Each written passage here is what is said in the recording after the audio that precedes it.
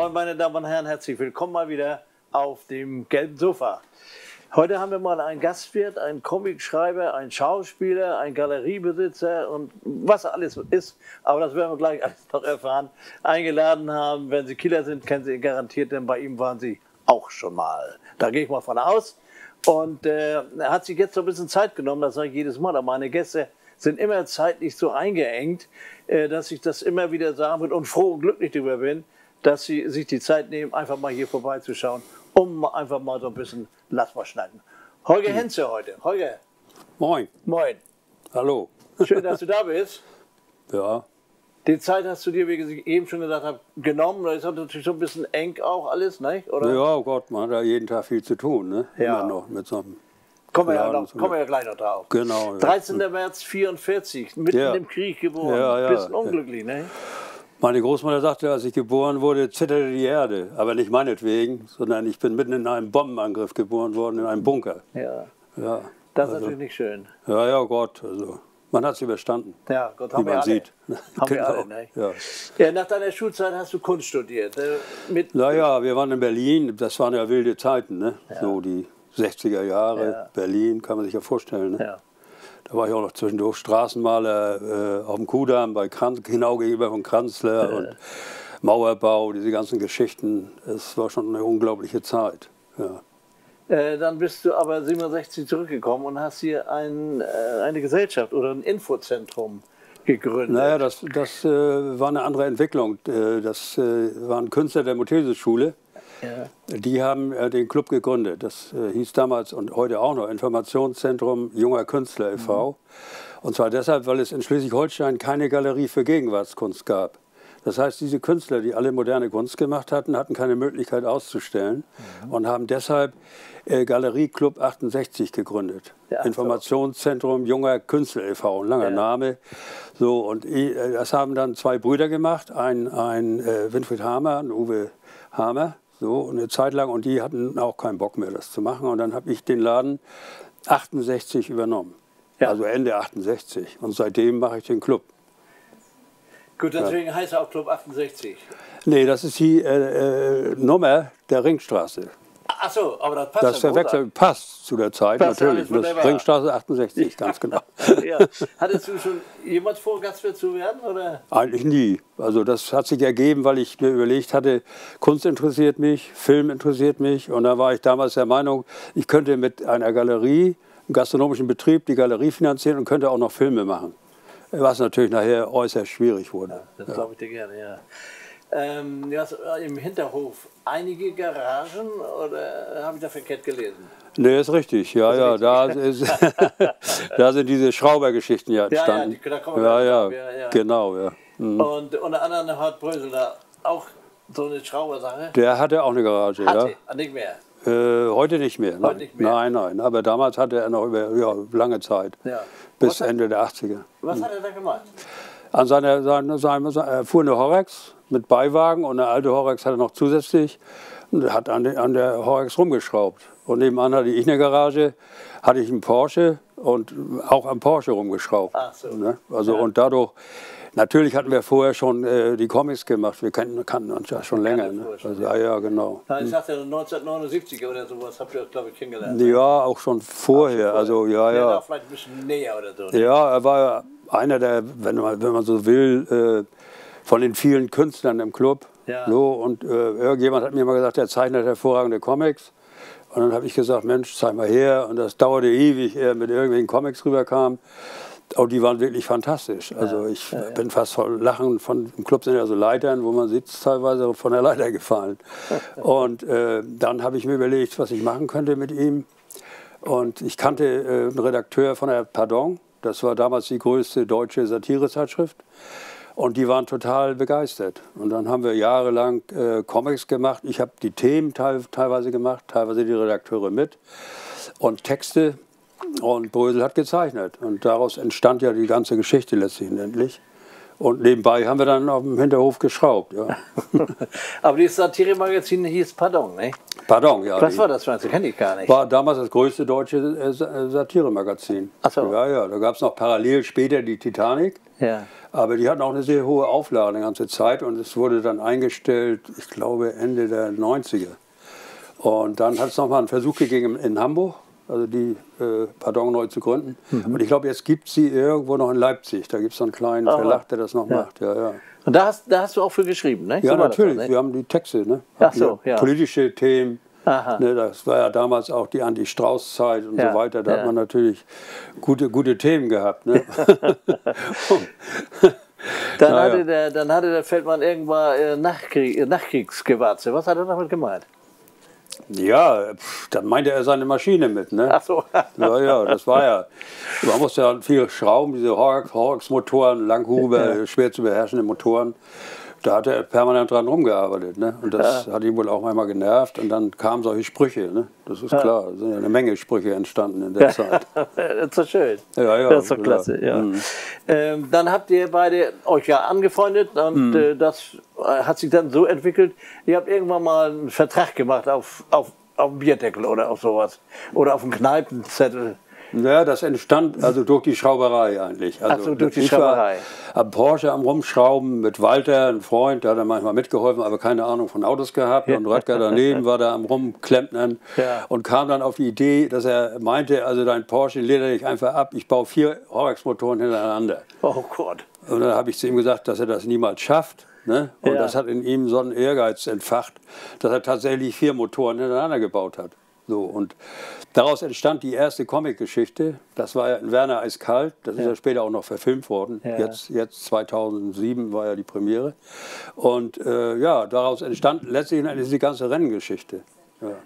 Und dann äh, habt ihr auch einen Vertrag gemacht oder wie seid ihr da Ja, auf dem? Bierdeckel haben wir einen Vertrag gemacht, dass wir gegeneinander antreten. Und das war eine Zeit, wo es natürlich sehr schwer war damals. Also überhaupt, wir wollten eigentlich ein Teilstück der neuen Autobahn haben. Ja. Und äh, das war ganz schwer, das äh, hinzubekommen damals. Äh, auch der damalige Ministerpräsident, wir wissen, der in der Badewanne Ja, äh, war schon. Barschel, das, der hatte sich sogar noch dafür eingesetzt, aber das hat nicht geklappt.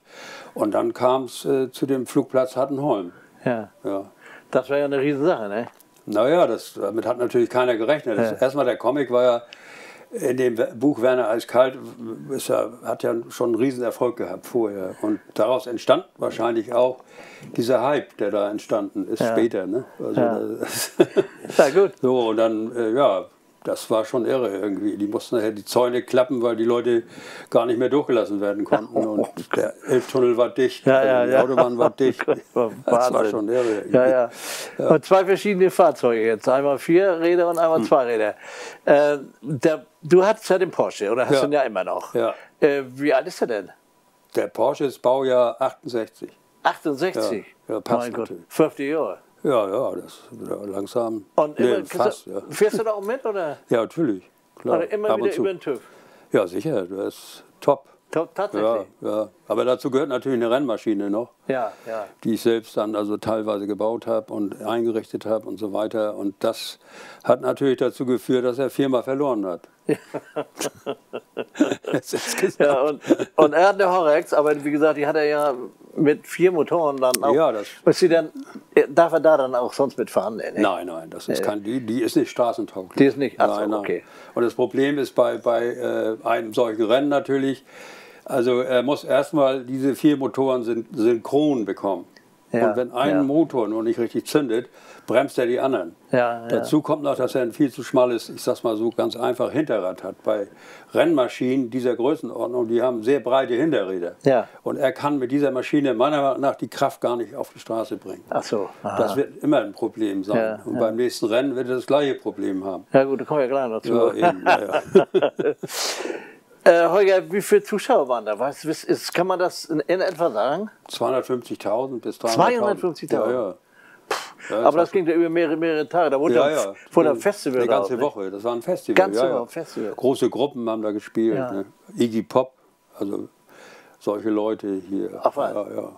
Und wer hat das? Bab, Äh, da gespielt. Bab auch? Bab auch, ja. Vielleicht spielen sie nächstes Jahr wieder. Also kann ja sein. Bab Ja. zumindest. Ja. Iggy Pop kann, glaube ich, nicht mehr. Ach so. Wer hat das Ganze organisiert denn? Ach, das waren Organisatoren teilweise aus Düsseldorf, Großveranstalter, die das Ja. übernommen haben und äh, Leute aus dem damaligen Semmel Verlag, Ja, ja, okay. die da- das ja. mit organisiert haben. Ne? Ja.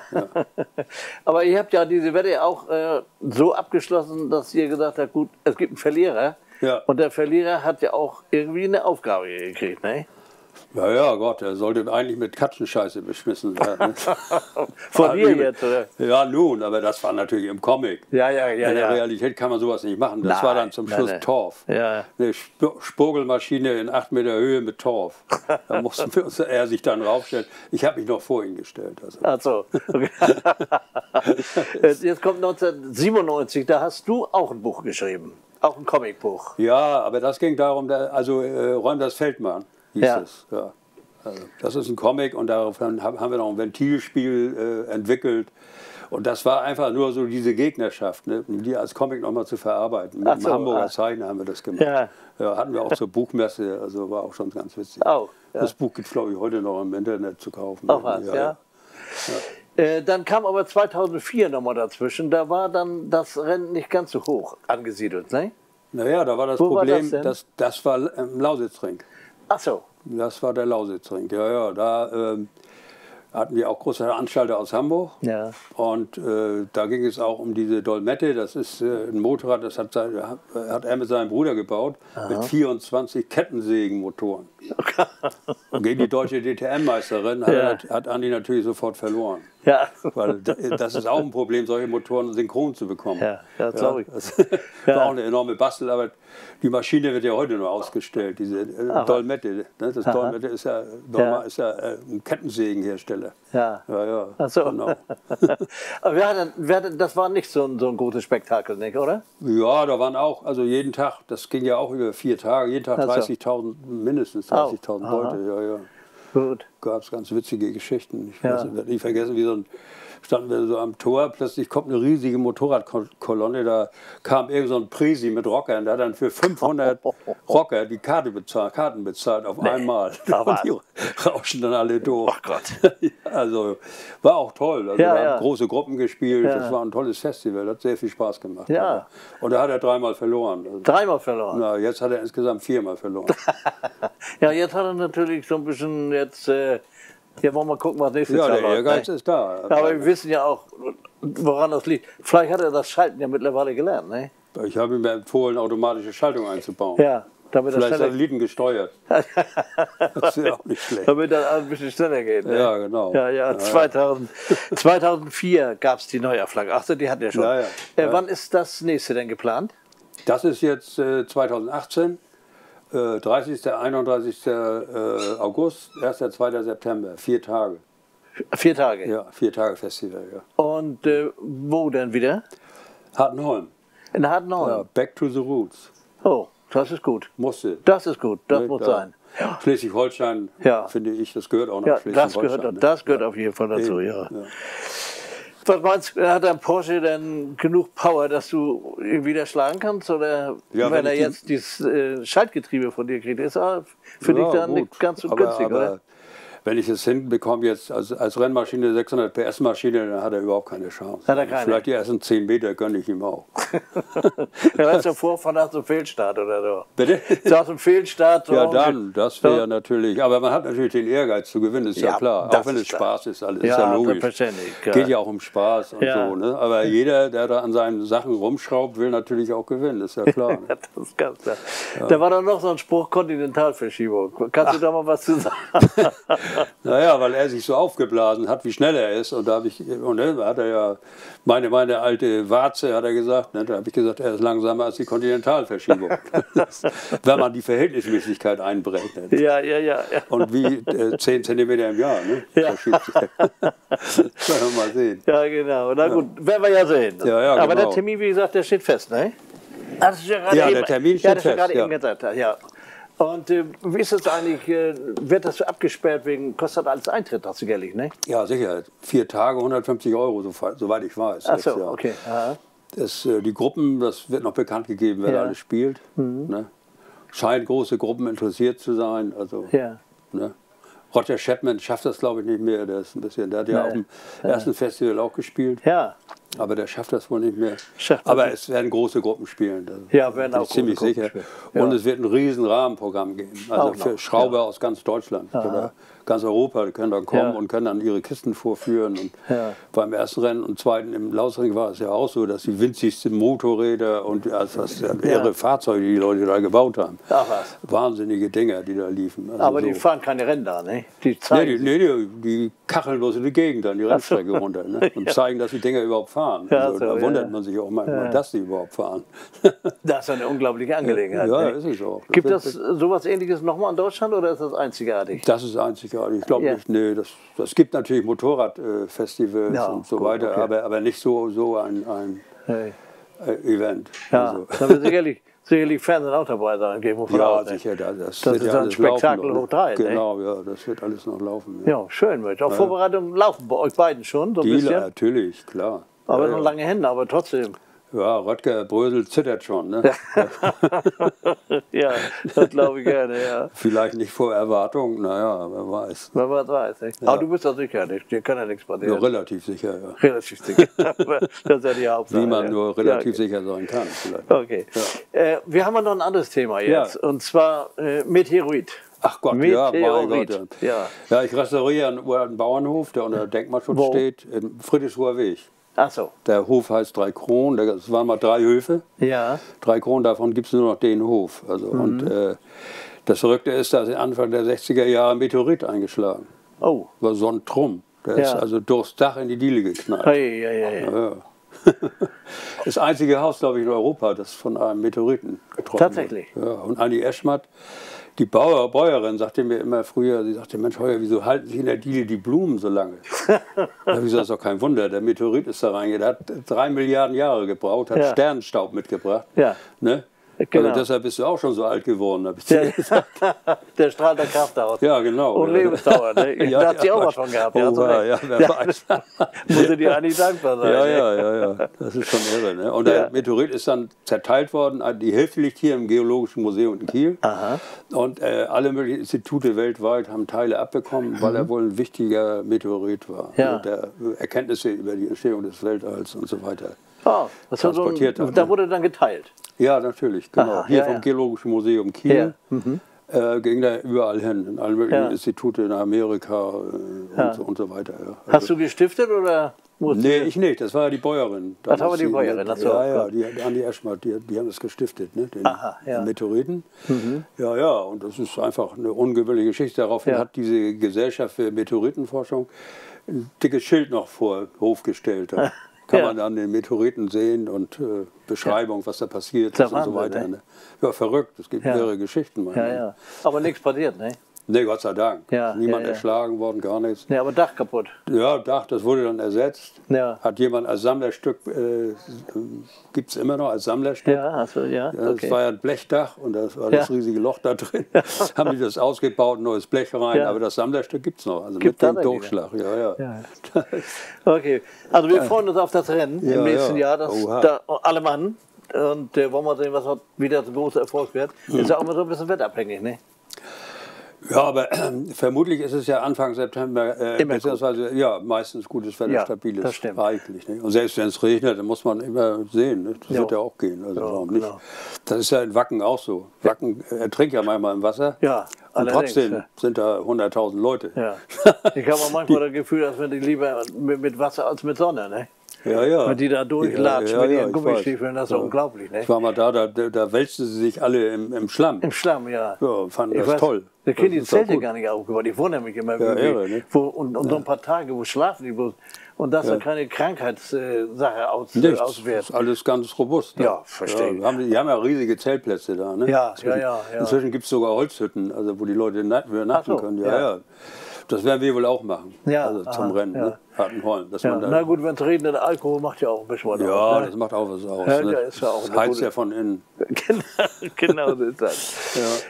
Ja, Holger, äh, du hast eine ganze Menge erzählt. Hm. Ja, ja, Schön. ach Gott. Darüber, das ist gut so. Spaß muss sein. Ne? Gibt ja. Gibt, das, äh, gibt das irgendwas ganz Besonderes in deinem Leben? Ich meine, du hast ja eine ganze Menge erlebt, wo du sagen kannst, also das war eigentlich das, woran ich gerne dran zurückdenke. Schwer zu sagen. Also so auf die Schnelle. Ja, gibt so viele Dinge, die man erlebt hat. ja.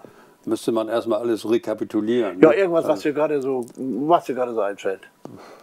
Im Moment nichts Oder keine. Größenordnung machen. Das Größenordnung? brauchen wir nicht. Nee. Nö. Irgendwas. Irgendeins, irgendeins rausgreifen. Schwer zu sagen. Also, Schwer zu sagen. Ja, schwer zu sagen. Gab Höhepunkte und Tiefen, ne? Ja, wie ja, in wie jedem in jedem Leben. Leben, ne? Ganz genau. Also da kann ich im Grunde genommen, könnte ich ganz schwer sagen, was ein absoluter Höhepunkt wäre oder absoluter Ja. Tiefpunkt. Ne? Ja. Aber Berlin war sicherlich doch auch, äh, ja, eine verrückte Zeit, sicher. Ja. Berlin war, war, also ich bin ja auch immer oft in Berlin gewesen, nach wie vor. Wäre auch fast in Berlin ge geblieben, hätte ich den Club nicht gehabt. Ne? ach so. Da Ja. wär ich, hätte ich in Berlin, ich habe da mit Filmemachern zusammengearbeitet und so. Mhm.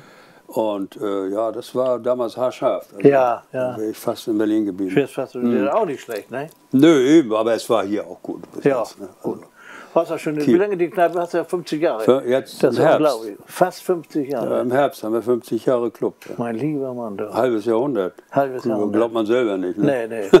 Und immer noch glücklich. Ach, glücklich, ja Gott, viel Arbeit, ne? Ja, es gehört ja dazu. Das ist Ja, ja, mal sicherlich. Aber froh. So. Ja, sicher, klar. Aber du hast doch dann nicht den ganzen Tag auf. So, von, früher hatten die Kneipen ja den ganzen Tag auf. Das nee, nee, ja wir haben nicht ja mehr. nur abends auf. Ja. Also ab 18 Uhr. Ab 18 bis Uhr. morgens um drei, halb vier so. Bleiben die so lange? Ja, früher hatten wir bis morgens um neun auf. Oh Gott, ja. Das war noch in den 70ern. Ja, das lange Das war aber eine andere Zeit. Ne? Ja, ja, Da, genau.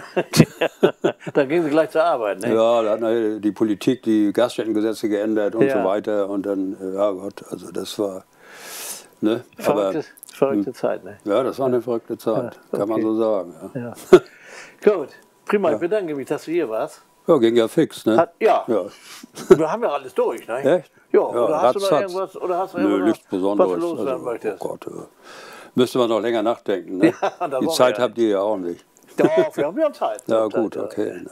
Aber ist, wir haben wir nichts. Wir haben alles soweit durch. Ja, ne? im Wesentlichen denke ich Ja. auch. Ja. Ja, also von mir aus ja. Also Ja, ich, gut, ich alles- nichts mehr mit, alles mit wunderbar. Das war auch noch eine tolle Sache, die mir Ja, noch, ja. noch eingefallen ist. Gott sei Dank. Ja, ja. Denn das ist ja eine spektakuläre Angelegenheit. Ja, ne? verrückt. Ne? Ja, das ganz einzige genau. Haus, glaube ich, in Ja. Europa, wo ein Meteorit direkt reingehauen Ja, hat. mein lieber Mann. Ja, verrückt, ne? Ja, Irgendwie. das verrückt. Ja, das Loch gibt es immer noch in der Diele. Ja, In der Diele auch noch, ja. oder? ja. ja, da er ist ja durchs Dach in die Diele geknallt. Ne? Ja, ja, ja. Und das Loch besteht noch. Oben durch, ja, ja. Da hat sie schön einen Kreis rumgemacht. Nein, das ist zu. Ist Aber zu. ich weiß, wo es ist. Aber weißt du, hatte bestimmt ein Kreuz markiert. Ne? Da genau. muss man dran vorbeigehen. Ja, Ne? ja. Gut. eben ne? Okay, also ich bedanke mich ganz herzlich, dass du da warst. Du musst ja jetzt Kein zurück in deinen Laden. Ja, muss ich gleich Schön, wieder, ja. schön ordentlich arbeiten. Ne? Ja, nützt ja nichts. Und äh, X, wie gesagt, ne? wir sehen uns nächste Woche garantiert. Ja. Ja, ja, guck mal rein. ja ne? ich guck mal ran. Ich Ja, hoffe, ja. dass du Club dann da bist. Club, ne? Ja, Siehst du, noch. 18 Uhr bist du immer da, oder? Ja, ja, weil ich dann meistens Küche vorbereite. Ja, gut, also dann werden wir um 18 Uhr mit, der, mit, der, äh, mit dem Beikoch oder so, oder Ja. dem der zuständig ist gerade. Ja, ja. ja. Immer die Vorbereitung treffen. Ja, das natürlich. muss Ganz eben sein. wichtig ist Also das, jetzt zur ja. Galerie nochmal. Ach Jetzt so. fällt mir doch mal noch Ja, was ein. oha, ja. Ähm, wer stellt denn da aus? Immer oder, oder ab und zu mal? Oder? Ja, Zurzeit, wir haben früher äh, teilweise acht Ausstellungen pro Jahr gemacht. Ja. Zurzeit machen wir höchstens noch drei, vier Ausstellungen. Aha. So, weil es zeitlich auch gar nicht zu managen ist und auch von den Kosten her. Das ist Ja. ja, auch immer ein Kostenfaktor. Ja. Und wir sind im Grunde genommen nie unterstützt worden, nie, nicht einmal. Ach so. Äh, ganz Schleswig-Holstein Kultur, also So, ja. äh, Schleswig-Holstein Kultur. Ja. Ja, leider ist ja, Ja, teilweise so. es Ne? so, ja, das. Ist, naja, okay, gut. Aber okay. was, was für Künstler haben denn da ausgestellt? Alle möglichen. Also hier sind auch viele Künstler entstanden, wie Raphael Reinsberg. Ja. Der ist ja bekannt, sehr bekannt Ja, geworden. ja. Leider lebt er nicht mehr. Ja. Jörg B., auch ein großer Künstler. Äh, es gibt äh, Peter Nagel zum Beispiel, kennen viele. War auch schon hat hier. seine erste Ausstellung da gehabt. War auch schon hier. Ja, ja. Peter Nagel hat seine erste Ausstellung im Club Ja. gehabt, da oben Ah, ja. in der Galerie. Also eine ganze Reihe von Künstlern, ne, die da Ja. entstanden sind, auch die ihre erste Ausstellung da gehabt haben und dann, weil es ja sonst auch in Kiel nichts gab an Ausstellungen für Gegenwartskunst. Ne? Ja. Das spielte ja alles eine Rolle und die meisten Künstler sind ja auch aus Kiel weggegangen. Ja, die gehen dann nach Berlin oder Ja. in das Süddeutschland, Ja. also, äh, Düsseldorf, Hamburg, einige natürlich Hamburg, ja, auch. ja, ne? viele Hamburg, ja. HFBK, Ja, viele. ja. Aber inzwischen haben wir ja Gott sei Dank eine Kunsthochschule sogar. Ja. Das hat auch geklappt, was auch viel wert ist. Ja. Ne? Ja, ja. Wie groß ist die Galerie? Die Galerie, das sind, äh, warte mal, 1, 2, 3, 4, 5, 6 Räume. Sechs Räume. Ach so. Da geht äh, eine Treppe hoch, Ja. noch eine Treppe und dann noch eine Treppe hoch. Aha. Oh Gott, dann bist du schon halb kaputt da oben. Drei Treppengalerien. also, Überall also, gibt es was zu sehen, ja. also in jeder Treppenlage ist, Hängt Kunst, ja. Und so. im Laden auch, der hängt auch voll mit Kunst. Mit, Ach so, also, gut. aus den ganzen Jahrzehnten Ja. sind wir jetzt dabei, die ganzen Künstler zusammenzustellen, die bei uns ausgestellt haben. Schön, ja. Zum 50-jährigen Jubiläum gibt es dann ungefähr 100 äh, Künstler, die da einzeln Bilder hin. Wir können ja nicht alle hängen, das Nee, geht nee, ja ist gar klar, nicht. ist Also, klar, ja. Zusätzlich haben wir Live-Konzerte dann, also Ja. viele Live-Gruppen, die im Club gespielt haben, die Ja. werden dann auch auftreten im September jetzt. Dieses Jahr ist das. Diese- ne? ja, ja, ist klar. Genau. Naja, dieses Jahr ist das und nächstes Jahr das Rennen. Gut, hast du eine ganze Menge noch vor los. dir, ne? Ja, kann man so sagen. Ja, aber ist auch schön. Ja, natürlich. Ja, du bist auch noch jung und bist Ja, auch noch dynamisch. ja, klar. Ne? Und Ja, dann ja. klappt das alles schon. Absolut. Ja.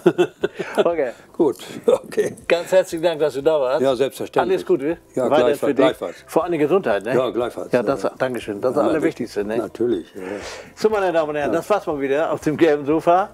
Äh, hat das Spaß gemacht hier und äh, nächstes Mal haben wir Herrn Klaus Teske. Herr Klaus Teske ist äh, der Vorstand von der Stiftung Drachensee und der hat natürlich ganz etwas anderes zu erzählen als Holger hier, aber so muss es einfach sein. Wir müssen unterschiedliche Personen hier haben, damit das so ein bisschen bunt wird mit unserer Sendung. Ich sage nochmal ganz herzlichen Dank, dass Sie dabei waren. Bis zum nächsten Mal und tschüss.